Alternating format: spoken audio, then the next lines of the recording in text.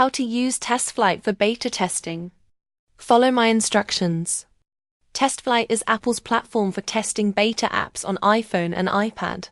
Whether you're a developer testing your app or a user invited to try a beta version, the process is simple. First, download the TestFlight app from the App Store.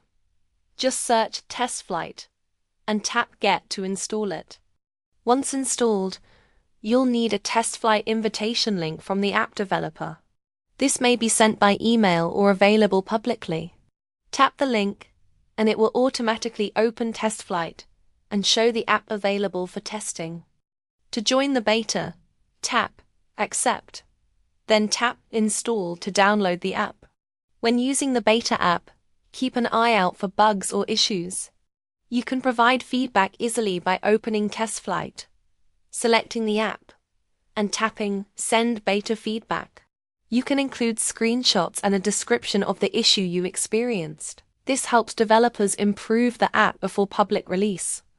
TestFlight beta builds expire after 90 days, and you'll see how many days remain under the app's name inside the TestFlight app.